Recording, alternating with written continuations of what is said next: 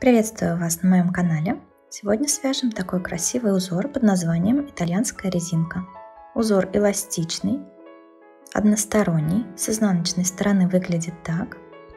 Резиночка получается объемная, рельефная. Для узора набираем количество петель кратное 4, плюс 2 петли для симметрии, плюс 2 кромочные. Первый ряд.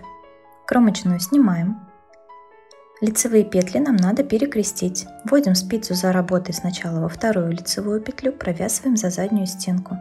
Затем в первую и только после этого снимаем 2 петельки. 2 изнаночные. Снова перекрещиваем лицевые. 2 изнаночные. Вводим спицу за работой сначала во вторую петлю, провязываем за заднюю стеночку, затем в первую После этого снимаем. 2 изнаночные. И так будем вязать до конца ряда. Лицевые перекрещиваем. Изнаночные провязываем обычно. Сначала вторую петлю провязываем, затем первую. Довязываем ряд до конца.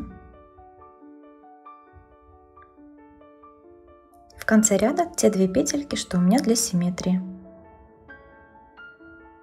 Кромочная, изнаночная. Разворачиваемся. Первую кромочную снимаем. В изнаночном ряду перекрещиваем изнаночные петли. Провязываем сначала вторую изнаночную. Не снимая петель со спиц, провязываем первую изнаночную. После этого снимаем 2 лицевые.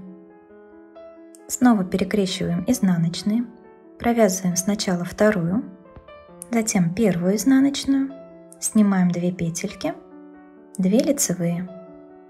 Так довязываем ряд до конца. Перекрещиваем изнаночные, 2 лицевые за заднюю стеночку. То есть с лицевой стороны у нас получается перехлесты тоже в лицевых. Провязываем сначала вторую изнаночную, затем первую. Снимаем петли и провязываем 2 лицевые. Таким образом довязываем ряд до конца.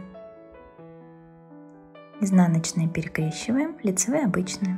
В конце ряда 2 изнаночные и кромочная изнаночная. Далее узор повторяем с первого ряда на нужную нам высоту. Такой красивый простой узорчик у нас получается. Спасибо вам за внимание. Не забудьте подписаться на канал, чтобы не пропускать новые видео. Будем вязать вместе.